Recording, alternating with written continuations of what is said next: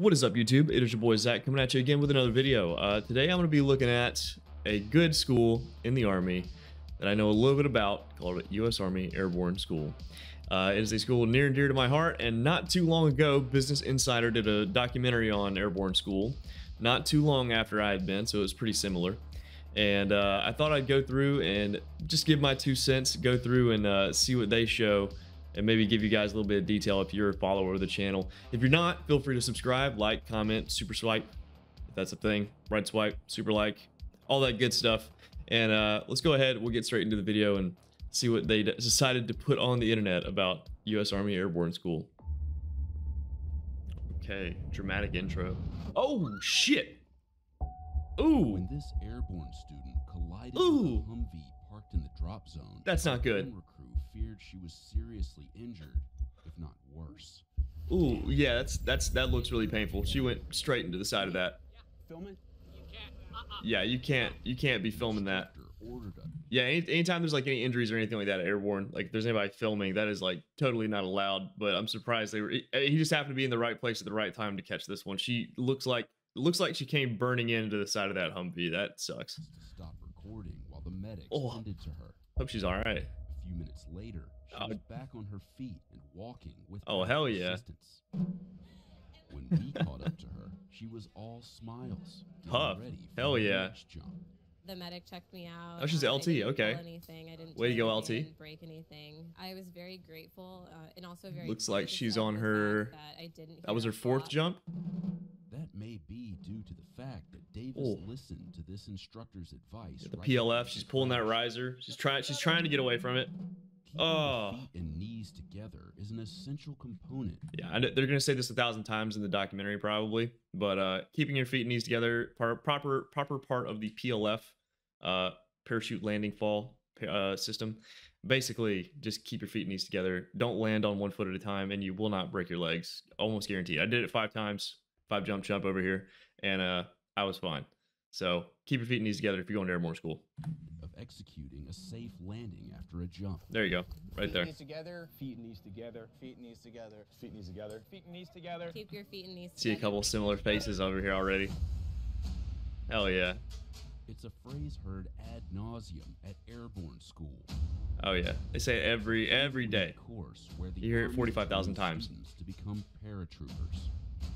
Throwing yourself out of an aircraft is not a natural thing. No. Especially at an altitude of 1,250 feet. It is a feeling like nothing you have ever felt before. It is- it is fun. It is really, really fun. At airborne school. oh god. I fucking hated doing that. Classes in the three phases of training. Do that- you do that a thousand times. When they land on the ground, Multiple days of just jumping off that wall. And it's just building that confidence in their equipment. Oh my god. I'm seeing a lot of familiar faces on these instructors. Don't call me out. Overcoming your fears of jumping.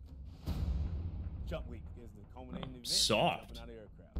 Perfect landing over You there. successfully make five jumps and you graduate airborne school. Airborne skew. Overall objective is to provide a capability to put a battalion-sized plus element in a location within 72 hours. Sounds about right. On day one, students have to pass two physical assessments. First group, get ready. First, Up. the flex arm hang. So normally the physical assessments you're gonna have a PT test, but due to like I think COVID and all that stuff, when I went through, we we didn't do a PT test. Um, that ended up being a problem for a couple people that just like they must have slacked off a little bit during PT before they went because uh they were having a couple problems on some of the runs and stuff like that. But for the most part, most people didn't have too much of a problem just because we didn't do the PT test. Um, but yeah, they're getting into the flex arm hang, which this shouldn't be bad. If you're going to airborne school, just make sure you can hang, do a couple pull ups. Like it's super important to be able to pull up because that affects using the risers and stuff like that later on. But I think they're going to talk about it anyway. where students must perform a pull up and remain in place Yeah. for 10 seconds. This exercise For some people, it's harder than you think. Technique and amount of upper body strength to perform what's known as a slip. Where a paratrooper grabs handles on the harness called risers and Yep. pulls down to adjust the parachute's direction. To really pull good slip, you're pulling, I think, 60% of your body weight. Yeah. You, you're doing a pull up basically. To the incline cable, you are a reach assessment failure. Do you understand? The second physical test assesses Just be tall student's enough at ability this to point. reach the cable they must connect to before jumping. Very easy. Being uh, Such a hard physical student, assessment. I was definitely nervous about that. But when I got there, I stretched my arm out as high as I could and realized, all right, I qualify. And that was a good feeling because I was a little bit nervous. While most pass with ease, Oh some no. students, a failed reach assessment brings an end to their training before That's a it no-go right there. Begins. Oh, that sucks. About 15,000 students. We had a couple people do that. School That each sucks. Year. Getting all the way there and then just day one like that. That sucks. About 10% of A lot of ROTC cadets I'm seeing. I'm 17, and so I joined right out of high school. My friends now, they're just graduating. They're just going to college. That's the new things that they're starting. And the things I wanted to start right out of high school is, you know, saving people's lives and jumping out of planes. Respectable. Hell yeah. The Army wants still more volunteers from its ranks for parachute duty. Since 1940, paratroopers have been trained at the Fort Yep. Benning Army installation, which straddles the Alabama-Georgia border, about 100 miles. Gotta love Fort Benning. Atlanta. Gotta love it. High for the jump. A lot of people stay there a little bit longer than they want to. When the fledgling paratrooper gets his wings, his pay will be $50 a month more than regular soldiers of his rank. I don't know what that equates to these days. I don't know if it's that much more worth it.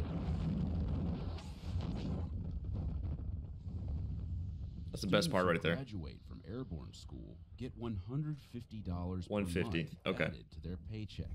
Yeah, even if you're even if you're a student and you're not going to like an airborne unit because of like I IBOLC, some BOLCs for officers, they send you there just to get a school under your belt.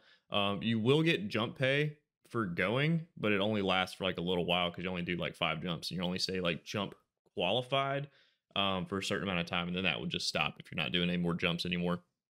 So you still get paid a little bit extra, which is cool. Classified as hazardous duty incentive pay. Are you gonna grab one parachute and one reserve?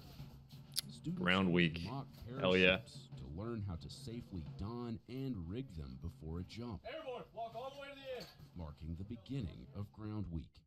Slap, step, kick, count. Jumpers hit it. The ground week phase gives you confidence in your competency. If you're on the left door, Confidence in your competency. in the left hand. You don't have to be the strongest or the smartest. Free. If you can remember to do very specific things at very specific times, It's easy. you'll be fine. These are your that easy. equipment rings. Below that, you have your saddle. We teach them how to properly put on what's called a harness. Teach them how to rig it, the different components of the harness. Airborne, once you're finished and you're ready for inspection, come to me. After donning and rigging the harness, an instructor You gotta wear that the student's all day. You gotta wear that. Get used to it. So Turn. you'll get very familiar with how to wear that. So do not worry about that if you're going to airborne. You'll be wearing it a majority of your days. You Cover. Sergeant, what's up with the little like glove? So the love tap on call the seal of approval. What is it? The fourth point of contact, fifth point of contact. Basically, they have what's called five points of contact. Yeah. The balls of the feet, the calf, the thigh, the buttocks, and the pull-up muscle. Yeah. Cover. The fourth point of contact is the easier accessible part of the body that doesn't have. It's been a hard thing for them to justify, with the harness but. I don't see any problems with it. Like point of contact is that you gotta seal of approval justify. Your equipment is good. I've checked it, and you're good to go. you see, you see him smiling. Out. then they'll move to what's called the mock doors. And you're gonna do this a thousand times. How to properly do individual exits from the aircraft. Kick. Thousand times you're gonna do this over and just going in circles over and over and over again. Slightly bent, and so on and so forth. The mock door prepares students 1,000. it's like to jump. Yep. But It prepares you for kind of jumping out of the door.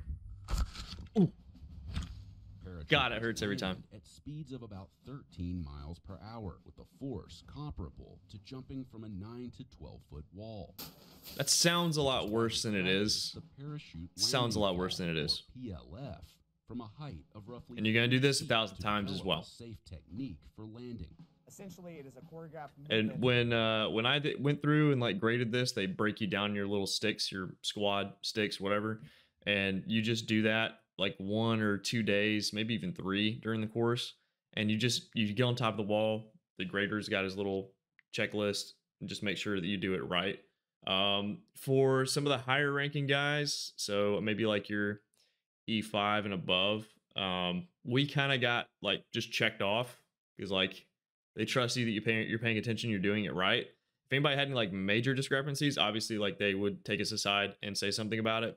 Um, but there were there were some dudes that I saw maybe should have went again, but uh, over the time that you do it, you're gonna you're gonna basically learn. You're gonna do it a thousand times. But definitely some of the like I saw a lot of the privates like any made like little minor discrepancy they would have they would be doing it a couple more times. So I don't know if that's just like a rank thing or if that's what, but yeah, you're gonna do it a thousand times regardless. Of them creating a banana shape or a rocking chair shape. They do a small bunny hop off the wall. They hit the ground. They tuck their chin down in their chest, put their elbows high in front of their face. I like to concentrate on keeping their feet together so that there's more Yeah. surface area for the impact of jumping out of the aircraft. Gotta keep your feet together. So that they can roll, getting them to bleed off the momentum so that they do not get injured. It hurt. It was annoying falling over and over and over until you get it right. Yeah, you fall And a lot. Then, you have to fall more and more. Yeah, This is my life that's on the line, so I appreciate that. So. yeah. Oh god. ELFs. They move to the lateral. I had to. So when I was there, uh, I, I got picked as the guy up there at the top of that little podium.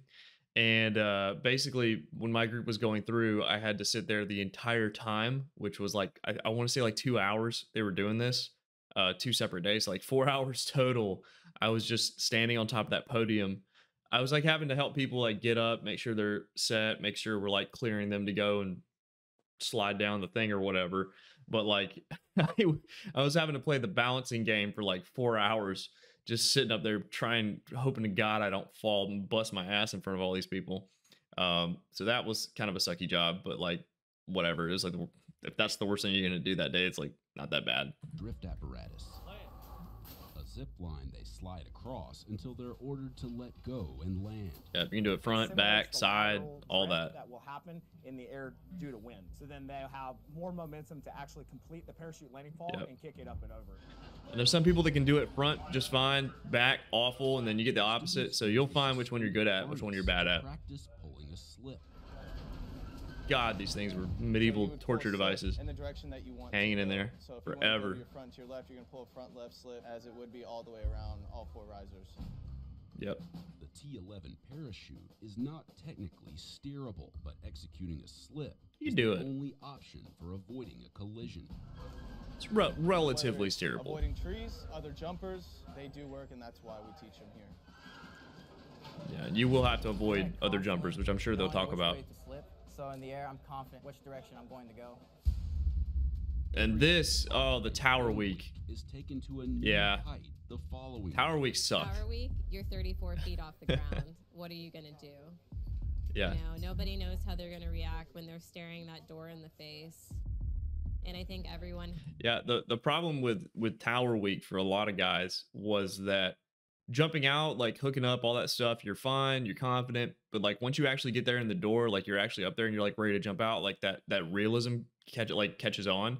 But uh the big problem with a lot of guys for Tower Week was like seeing that the ground was like only that 30 something feet off the ground for some reason was like really different than being up in the plane later on in in jump weeks. Um and they just like they would stutter more there than I saw them stutter like at the door in the plane.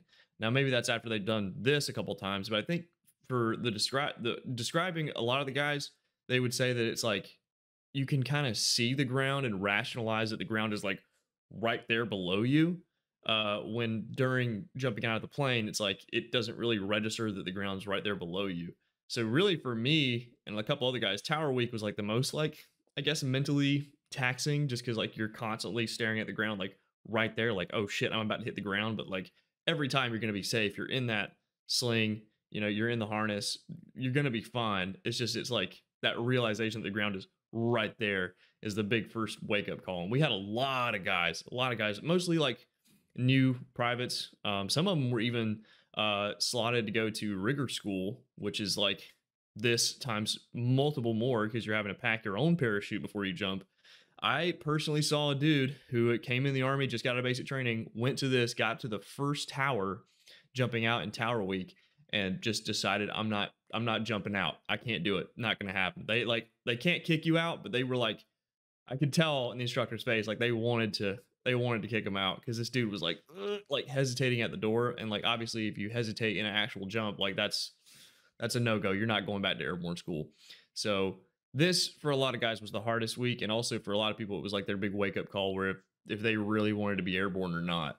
So we'll go on. Had that gut check, if you will, when they were up there. Yeah, you get that gut Once check for you sure. It, once you're jumping off, you're good. The height of the tower. It is doesn't look bad. A lot of people are going to show the panic and the fear of heights, and the tower is used to help them control that fear. Yeah. Because the ground's right there and you jump out. Everybody's excited. You walking upstairs just like anybody else. But then now reality sets in when I'm standing up here 34 foot in the air and now you asking me to jump out. Yep. You got to count to 6,000 every time. Kick out, creating the explosive power required for them to exit the aircraft, getting a good up six, out And doing the combat jumps, yep. far away from the aircraft. But you guys will see like these combat jumps, they're having the rucks on their front, which adds a little bit more weight to it. Um, from what my buddies have told me, actual combat jumps with actual weight suck way worse. So you'll be fine. Process and begun its descent to the ground. Students are observed and See a lot of familiar faces still. Who critique them until they have developed Love these guys. worthy of a live jump. I actually jumped the mock tower 22 times. Good God. Just because I just had to perfect it and get it right. You got to kick out a Good certain amount God. to get far enough away. And that was 22 probably the thing I struggled with times. the most. Final exercise during Tower Week. The medieval torture device. Swing landing. Swing landing trainer. Opportunity to practice a God. landing. And before before they get into it, I'll just be real about the swing landing trainer. Obviously, everything you do in airborne school is not that hard, but the swing landing trainer like kicked my ass a bunch just because for me personally, like hitting the ground because they're about to see they're gonna drop them from these sling these these harnesses and they're gonna hit the ground. But to me, for some reason, I felt like I hit the ground so much harder every time out of these swing landing trainers than I ever did in an actual jump. And I don't know, I don't know what it was. Maybe I was still learning how to PLF properly, but like I just ate shit every time. And uh when I actually got done with my first jump, I was like, oh man, this isn't even close to that bad. So maybe it's a confidence thing. I don't know. It's It definitely a confidence thing, yeah. The oscillation and downward movement that you would experience on a normal parachute jump. They will swing until they get into a good parachute landing fall position. In true parachute landing fall, you are not looking at the ground, so you don't know Yeah. when you're going to hit. We don't tell them, I'm dropping you now. We just say, hold what you got, prepare to land. And eat shit. That way they know the ground That was a pretty good coming landing, though. They just won't know when. The instructor pulls a cable that causes the student to Ooh, fall. saw the legs spread a little bit, This is which is a little natural. Dangerous course when it comes to the actual training. We've seen broken bones. We've seen Yep. concussions result from this training. We had a so couple concussions happen during swing landing. Jump week. Culminates with Jump Week, Hell yeah. Where students apply everything they've learned in five different jumps from a live aircraft flying 1,250 Hell feet yeah. off the ground. Jump Week begins with a jog to the airfield. Running down here. Yeah, so they'll probably talk about it, but I'll do it very quick. Uh, the jog to the airfield, I want to say is about a mile and a half. Probably not two. I want to say it's just like a mile and a half. Um, it's not bad. It's a slow pace. Um, if you go in the summer like I did, it's hot as fuck. Um, but just drink water, you'll be fine. If you struggle with running a mile and a half in boots and your uniform, I mean, going from basic straight to airborne is really not too much you can do aside from just do the PT and basic.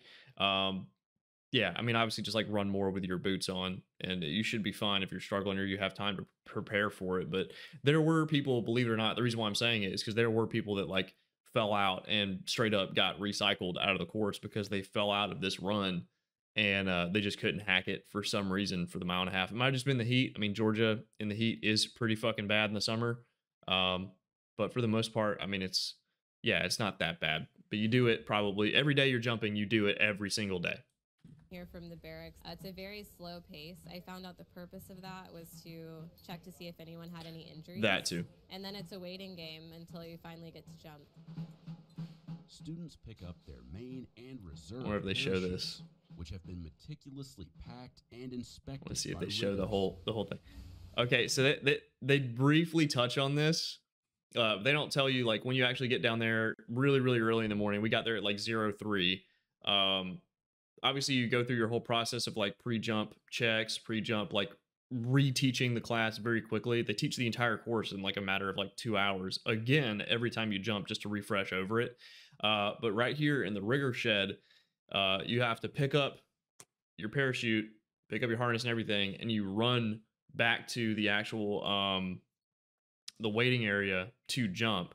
And uh, I want to say it's only like 200 meters, maybe even less than that, maybe 100 meters. Uh, but yeah, I mean, it's a little bit of a smoke sesh because you, you're carrying this thing. I want to say it's like 30, 35 pounds on your shoulders, and you're like having to hold it up here. You're like sucking, you know, and you're running back, and you got your Sergeant Airborne's fucking yelling at you the whole time, like, why are you walking airborne? You know, so if you're not a great runner or you can't carry a little bit of weight, definitely work on carrying a little bit of weight at a jogging pace for a little while. It's nothing to really worry about because, like, yes, there are some people that like walked and stuff and they got away with it, whatever. You're supposed to run, supposed to jog back. I mean, I obviously like holding this, like my arms were getting tired. I was having to switch, all that stuff. You know, I'm not like the biggest stud in the world, but uh there were some guys that could just do it no problem.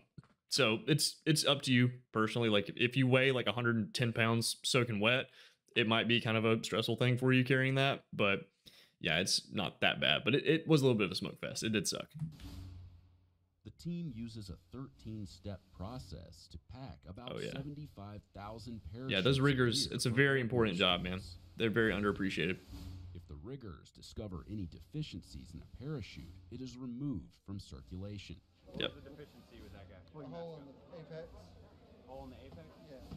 Yeah. Yep. Those guys- They, they're saving lives every day, man. telling you. You get one thing wrong with that parachute, cause a super bad, super bad So they malfunction. go through five, five rounds of inspections by the time they exit the aircraft, just to Yep. verify, re-verify, triple verify, make sure that everything is in order. Everything from checking the helmet and the actual T11 Yep. harness and the parachute for any deficiencies, any cuts, frays, any twists, anything that could injure the jumper or cause uh, malfunction. Yeah, they get nervous. Oh, you see all the leg shakes in the shed. You're seeing all the leg shakes. Students wait And wait. And wait. wait. Oh, yeah. Jumps often delayed for hours by weather and Yeah. traffic control. Longest I had to wait was eight hours. had to wait eight hours to do one jump and then go home. You can't talk. You can't go to the bathroom. Nope. You just have to sit there in our nice, comfy harnesses until you get to jump. Don't ask why you can't go to the bathroom. Don't ask. Just, just, just don't. There's some people that almost piss themselves. But as soon as we hit the landing zone, I'm not gonna say who, but there was a lot of people who uh, they just dropped trowel right there on the field and just they had to take a pee. Gotta go when you gotta go.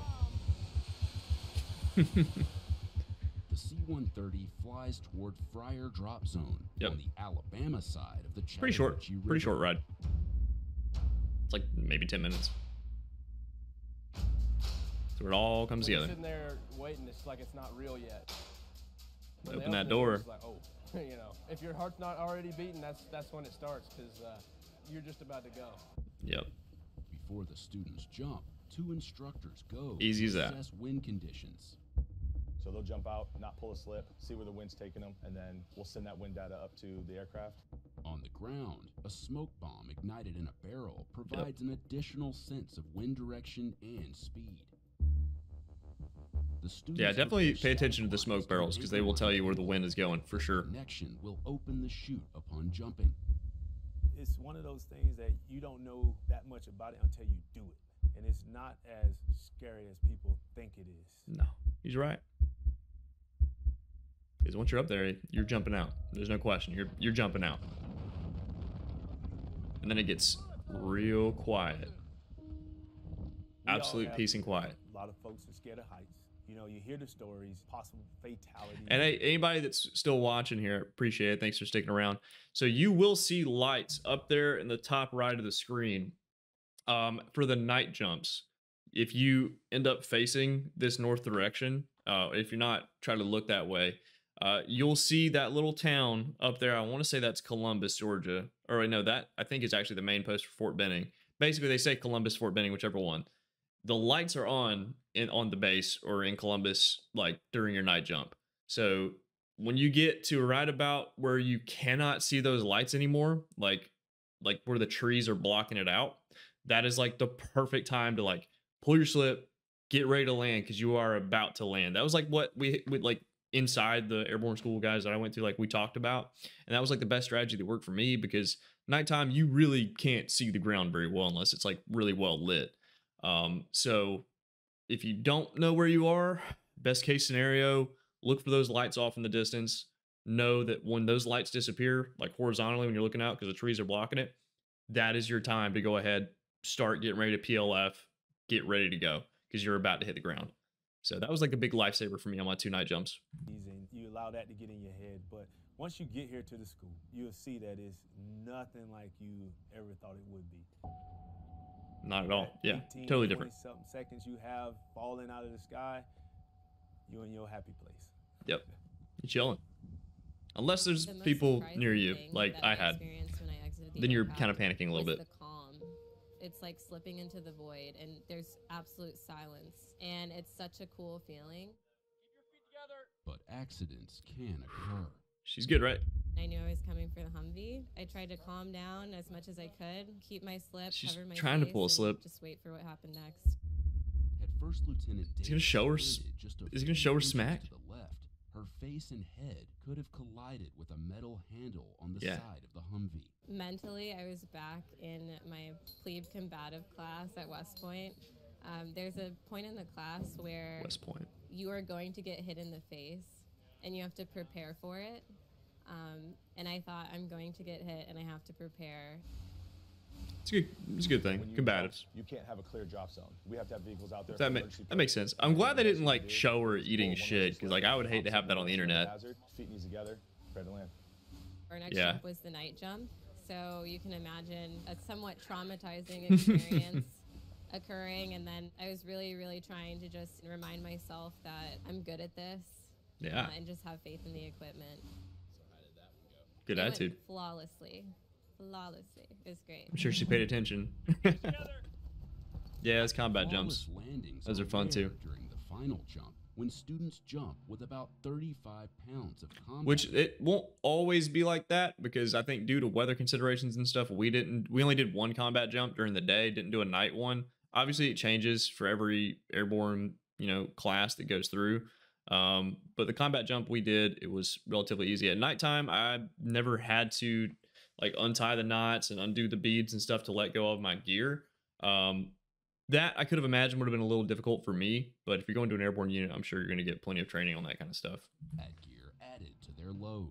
It was really nice to get it over with on a combat jump, which that isn't fun because you're carrying all the equipment. But once you get out of the aircraft and you realize that being a smaller person kind of aids in bringing you down to the ground a little bit slower, Yeah. it all pays off.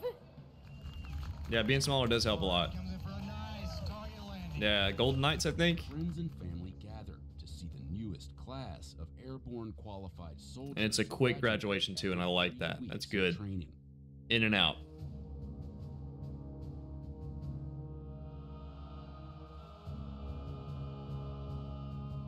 Airborne.